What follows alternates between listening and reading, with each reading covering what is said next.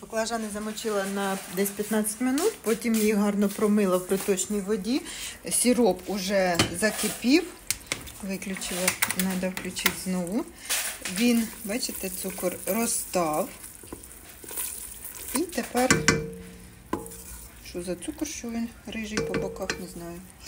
Коротше, який є. І тепер беремо ці баклажанчики. До речі, в мене глоксинія по 35 гривень, бульби глоксинія, а також різні квіти є на опту поштучно Голландія, е, крокуси є і червона ікра чорної щуки в наявності.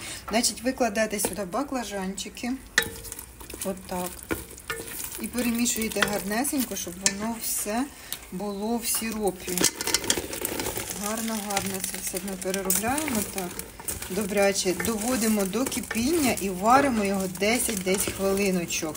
Якщо ви будете з айви робити, то робіть десь 15 хвилин прокип'ятили і відставили на 10 годин. Потім достали, поставили, закип'ятили, прокип'ятили теж десь 10-15 хвилиночок і стідили сироп, і сироп уварили.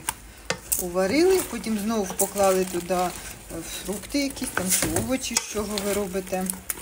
Прокип'ятили знову із е, цим сиропом, чуть-чуть там, ну, поки воно, щоб не підгоріло тільки. І сушите.